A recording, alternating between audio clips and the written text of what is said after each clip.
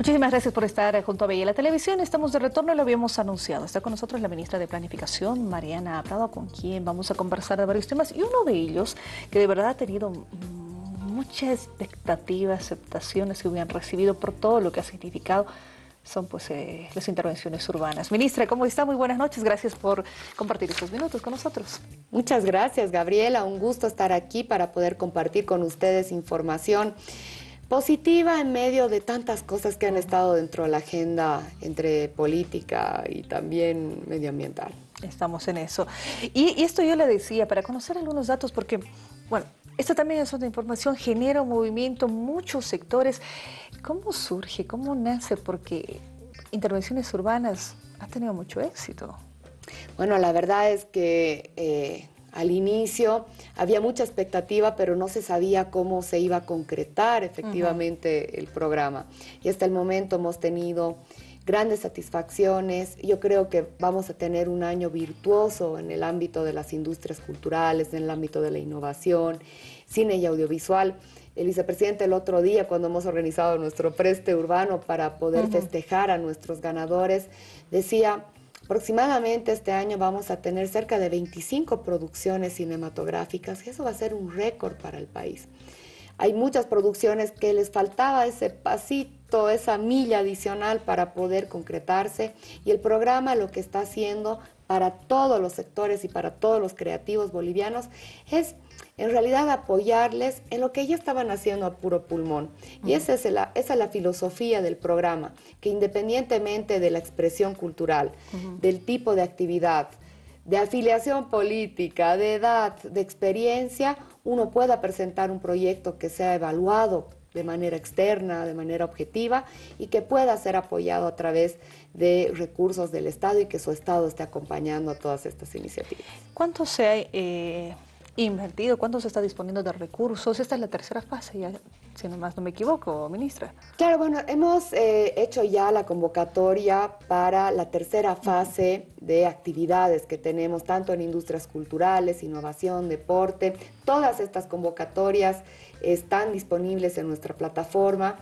Eh, y hasta el momento tenemos comprometido cerca del 45% de los recursos que se han asignado para el año. Esto es anual, ¿no? Un monto para este 2019. Así es, para este año nosotros tenemos inscrito en el presupuesto 140 millones de bolivianos. 140 millones de bolivianos que se distribuyen en todas estas, eh, en todos estos fondos concursables, pero también es importante recordar que cuando lanzamos el programa también había un componente de urbanismo cultural que lo hemos denominado. Y allí lo que tenemos previsto hacer es recuperar espacios públicos, eh, reformarlos y trabajarlos y entregarlos a los eh, colectivos culturales para que ellos sean los encargados de administrar con nosotros esos espacios y de verdad devolvérselo a la gente. En, esta parte, por ejemplo, del, del, fondo concursal lo estamos viendo, están por fases, pero es esta, de, esta parte de recuperar los espacios. La parte de la recuperación eh, de espacios públicos es un tanto más compleja, porque por una parte hay que generar las transferencias institucionales, o sea, decir ministerios, entréguenos ese espacio espacio, desocupen, limpienlo, que lo vamos a reformar. Entonces eso toma un cierto tiempo. En el caso de La Paz tenemos dos intervenciones claramente identificadas que las vamos a anunciar. Eh, en el caso de Cochabamba, eso sí ya estaba anunciado, vamos a intervenir en eh, la coronilla, entonces ahí vamos a hacer una recuperación urbana, además de alguna forma absorbiendo un proyecto que ya se hizo, hace algunos años eso se concursó y claro, los ganadores del concurso a la coronilla decían, ¿y cuándo nos van a ejecutar el proyecto? Y ahora lo que estamos haciendo es recuperar eso que propusieron los cochabambinos para revitalizar la, coronilla. Y en el caso de Santa Cruz también tenemos eh, tres intervenciones, una de ellas ya anunciada con Manzana 1. La gente de Manzana 1 está muy feliz y en un trabajo conjunto con nuestra presidenta de la Asamblea hemos logrado ya en tiempo liberar eh, el espacio. Lo que estamos ahí batallando son con las autorizaciones del gobierno municipal, pero para este año vamos a tener igual muchas novedades con urbanismo cultural. Tres en Santa Cruz, dos en La Paz, uno en Cochabamba. Interesante, ministra. En, tema de, espacios, ¿no? ¿Qué, es lo que se necesita? Eh, ¿Cómo se, trabaja eh, ¿Y cómo se define, cómo se dije? Comentemos un poco sobre esto, porque em, involucra la participación de distintos actores, me imagino, para ver el tema de, quiénes son, quiénes acceden a estos fondos. Sí, la verdad es que ahí hemos querido eh, hacer una ruta bastante sencilla y transparente para que toda la gente sepa cómo se, están, eh, cómo se están eligiendo los proyectos que están siendo apoyados a través del programa. Y para eso, de verdad, lo que hemos hecho es traer, en muchos casos, en la mayoría de los casos, y particularmente para los proyectos más grandes, jurados internacionales. Gente que tiene el conocimiento específico de lo que está yendo a evaluar. No son funcionarios públicos, no es gente ni siquiera del Ministerio de Planificación, porque nosotros hacemos de Secretaría Técnica, nosotros acomodamos la convocatoria, generamos la plataforma, pero luego son jurados que con los criterios que están establecidos además en cada una de las convocatorias, hace una puntuación. Y hay algo además también novedoso que hemos incorporado en el concurso de las asociaciones sin fines de lucro. Eh, lo que hemos hecho es tener unos ganadores por calificación de un jurado, pero por otra parte, algunos proyectos que estaban en el límite mínimo del puntaje, los hemos lanzado un concurso de popularidad. Entonces seguramente han debido ver en diferentes medios muchas de las asociaciones, ONGs, eh, gente que ha empezado a movilizarse para que todos pongamos un like en Facebook. En algunos de los casos han logrado más de 300 mil likes para poder acceder a los recursos que hemos puesto a disposición a través de este concurso de popularidad. Participa la gente entonces. La verdad es que el programa ha sido altamente eh, movilizador y de verdad que absorbe todo lo que sucede en el contexto urbano, desde la gente que se dedica por eso a innovar, gente que está en el ámbito de la tecnología, deportistas que no están en los deportes cotidianos, ¿no? Eh, existen deportes que no son parte de los, de los Juegos Plurinacionales o que no son eh, parte del grupo de los Tuncas, que eso lo hace muy bien el Ministerio de Deporte, pero nosotros queremos fomentar, por ejemplo, la práctica de artes marciales, eh, deportes extremos, queremos fomentar la participación de badminton y también queremos fomentar la formación de árbitros y entrenadores que puedan ayudar al desarrollo de este otro tipo de deportes del contexto urbano. ¿Eso ya como proyectos eh, individuales, así se presentan? Se presentan también a, través de la plataforma. En el caso de los deportistas, necesariamente tenemos que trabajar con las federaciones cuando existen, porque hay algunos deportes que no tienen una federación como tal.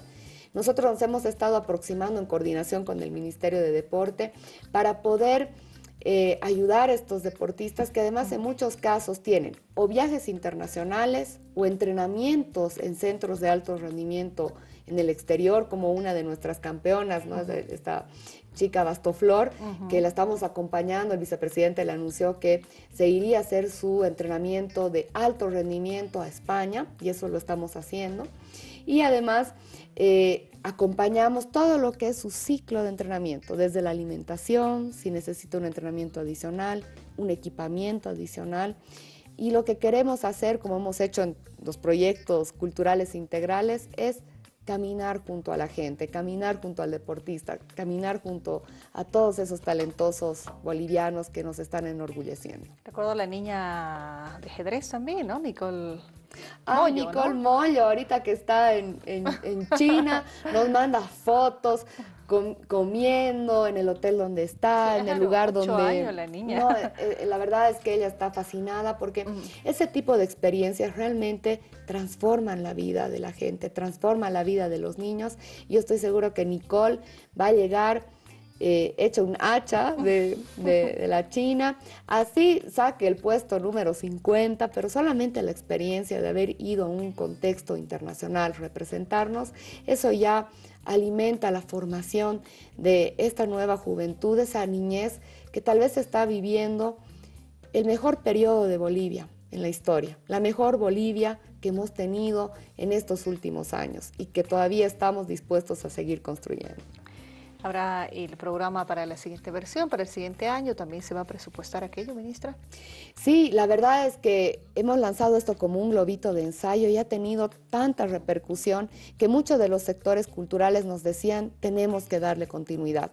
Y además hay muchos de los proyectos que no, no se van a terminar este año y tenemos que ver la forma de que esos proyectos puedan ser programados plurianualmente. Entonces ya hubo una instrucción de nuestro presidente Evo, del vicepresidente, para que podamos con economía garantizar recursos para la próxima gestión y así darle continuidad, porque esta metodología de los fondos concursables, por eso goza de la, de la, del beneficio de que es algo transparente, que eso es algo que surge de la propuesta de la gente, que esto es algo que se puede gestionar de manera rápida y que además genera realmente la posibilidad de construir una industria de la cultura, construir una industria de la innovación, porque hay que recordar que también aquí dentro del corazón de las intervenciones urbanas tenemos todo lo que hemos denominado economía naranja. Ojalá y tengamos más, ministra, en este sentido, porque eh, genera eso, ¿no? La participación sea a través de las industrias culturales, de cine. Queremos ver producción audiovisual. Nunca se ha financiado, bueno, hoy con una ley de cine, pero este tipo de producciones que permite eh, mostrar, y eso es un tema de, de mostrar a Bolivia también hacia el mundo. Sí, además lo que estamos haciendo es innovar en los nuevos lenguajes culturales, ¿no? Eh, hemos lanzado junto con la Feria del Libro el concurso los Booktubers, ¿no? Que había sido una tremenda movida, o sea, ahora en este momento tenemos más de 340 videos de Booktubers que nos han estado enviando y nunca nos hubiéramos imaginado que... Eh, genere ese movimiento. Que genere semejante, semejante movimiento. Luego eh, hemos conseguido también aliados estratégicos para las intervenciones urbanas. Por una parte están los fondos concursables, que, ya todos conocen la metodología, pero por ejemplo hemos conseguido asociarnos con Vogue para poder hacer el evento de moda más importante probablemente de este año. Lo que vamos a hacer es reconocer a todos nuestros diseñadores en todos los ámbitos y no solamente a la gente que está en el diseño digamos, de, en la confección de las prendas, sino todo el, todo, el universo conexo a la moda, el fotógrafo, el quien hace una edición de moda, la gente que hace cobertura. Igual tenemos incorporada una categoría vinculada a la gente que hace eh, los trajes de folclore, de gran poder. O sea, esas son unas joyas y lo que queremos es que eso esté en una pasarela en la altura y el nivel de una revista como Vogue, que es nuestro aliado principal para poder eh, ejecutar este, este... En toda la diversidad que tenemos en tema de, moda. Así es. Entonces, eh, tenemos esa línea y luego también nos hemos encontrado otro aliado, nos hemos agarrado ahí del, saco de la gente de ñam, que eh, es, un, es un conglomerado de gente del ámbito gastronómico que organiza los festivales más grandes eh, en Latinoamérica. Entonces, ñam por primera vez va a estar en Bolivia, en la ciudad de La Paz, organizando un gran festival que tiene un componente de innovación, donde vamos a hacer todo un descubrimiento de lo que se está haciendo con los productos locales, va a haber una interacción con los productores nacionales. Y por otra parte tenemos la parte de la fiesta, así hemos denominado, que queremos compartir, vamos a tomar un espacio emblemático en la ciudad de La Paz como es el Montículo y la Plaza España para poner a disposición todas las creaciones que vamos a eh, generar en el ámbito del, festival gastronómico. Además, tenemos comprometida la participación de al menos cuatro chefs internacionales. Uno de ellos, Virgilio Martínez, que es un peruano, que en este momento dirige el restaurante, el mejor restaurante de Lima, que es el restaurante central. Entonces, eh, vamos a tener muchas cosas sucediendo en los próximos meses, Gabriel. ¿Es la primera vez que se dispone de este tipo de, recursos innecesarios, eh, ministra? Es la primera vez que intentamos esta metodología, ¿no? Desde luego, en temas de gastronomía, moda, el Estado nunca ha estado presente. Eh, en el ámbito de la cultura sí han habido otras formas de, poder impulsar aquello. Creo que el, impulso que da, por ejemplo, el premio Eduardo Baroa es importante, todo lo que se va a hacer con la ley de cine, pero eh, creo que teníamos que cambiar un poco de enfoque. y hacer que sea la gente la que proponga al Estado lo que ya está haciendo a puro pulmón y que seamos nosotros únicamente unos eh, promotores, demos los recursos, demos el impulsito para que las cosas salgan. Hasta el momento, ¿cuántos eh, proyectos se han premiado? Son 539 proyectos. Ahora, por eso un proyecto puede ser un proyecto individual o tenemos, por ejemplo, los proyectos de innovación donde tenemos a 20 chicos que se van a un seminario de robótica en México. Entonces, si hablamos en términos de individuos que hemos movilizado, son más de 4.000 personas que han estado vinculadas al programa de intervenciones urbanas en estos cortos dos meses y medio, tres que hemos estado implementando. Y para nosotros es una revolución eh, como ministerio eh, el comprender la dinámica de toda esta gente que está circulando en el ámbito urbano. Entonces ha sido un esfuerzo también para nosotros y un gran aprendizaje y algo que decía uno de nuestros artistas ganadores, Andoro, que probablemente lo conocen. Él decía, este es el inicio de un gran romance, de una cueca entre el Estado y los creativos y que ojalá que esta cueca continúe y que este romance, romance continúe. Y lo que estamos haciendo desde el Ministerio es impulsar para que continuemos trabajando. ¿Los nueve departamentos han llegado a, cubrir todo el país? Eh, solamente nos falta una, ah, un proyecto en Pando. Es en el único departamento donde todavía no hemos podido encontrar un proyecto para poder apoyar. Entonces eso también es una llamada de atención para que nosotros rápidamente con nuestro equipo nos movilicemos a Pando, porque estoy segura que allá deben haber muchas iniciativas culturales, gastronómicas, de moda. Entonces estamos hacia la búsqueda y aprovecho el, espacio para decir a toda la gente, a todos los pandinos, anímense porque ya en todo el país tenemos ganadores. Ahora, en cuanto a la distribución, realmente me ha sorprendido es bastante pareja entre La Paz, Cochabamba y Santa Cruz. La disputa está entre Cochabamba, Santa Cruz, em, eh, en el ámbito, por ejemplo, de organizaciones sin fines de lucro. Pero luego La Paz, en cuanto a proyectos culturales, sigue llevando la vanguardia. Está arriba en eso. Así es. Ministra, em, esto significa, y yo le decía eh, de esa manera, que ya tenemos una tercera fase. Ha arrancado la tercera fase. Están recibiendo nuevos proyectos eh, que involucra también este tipo de, de iniciativas de la ciudadanía. Sí, hay una tercera diríamos, una tercera fase, una tercera, tercera ola de convocatorias para todas las líneas que hemos estado apoyando, circulación, formación, proyectos integrales. Entonces queremos realmente en este año tratar de llegar a la mayor cantidad de iniciativas. Hay gente que recién se está enterando y de verdad eh, la primera tanda, la primera etapa, todos han ido así como con un poco de escepticismo, ¿no? ¿Será que es así? ¿No será que hay un condicionamiento? ¿No será que voy a entregar mis papeles y me va a llegar el dinero de aquí a seis meses? Pues no, hemos demostrado que es eh, posible apoyar y caminar de la mano con nuestros talentosos bolivianos y atenderlos desde el Estado para que puedan cumplir sus proyectos en tiempo, en plazo y con oportunidad. Está en la página, ¿no? Cualquier todo tipo de informaciones. Intervenciones urbanas. Sí, invitamos a la página intervencionesurbanas.bo, que es un mecanismo también muy transparente para que puedan acceder todos los proyectos, ¿no? O sea, no es que llegue un proyecto en sobre, ¿no? Al Ministerio de Planificación o por la ventanilla única, no. Hay una plataforma a través de la cual ingresan todas las propuestas y así de manera transparente sabemos exactamente quién ha presentado, cuántas veces ha presentado una, propuesta.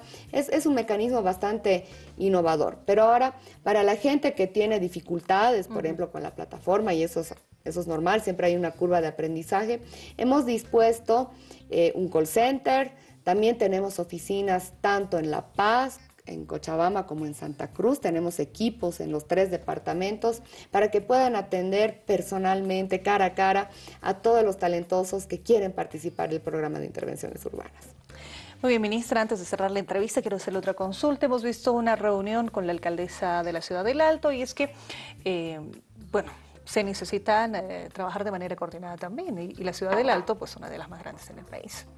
Sí, y la verdad es que para nosotros es un gusto ir operando ya de manera concreta la, ronda que ha empezado nuestro presidente. Nuestro presidente ha dicho voy a visitar a todos los municipios que tienen más de 11 concejales, porque vemos que la problemática urbana ya ha superado las capacidades de muchos municipios.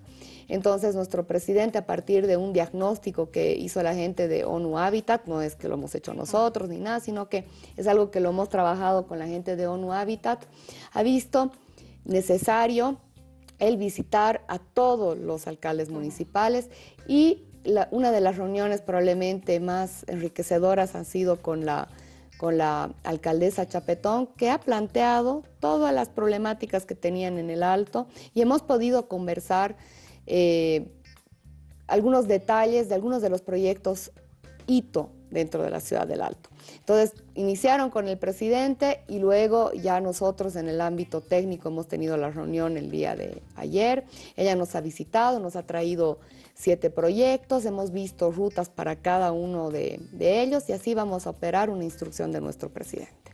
Muchísimas gracias, ministra, por acompañarnos.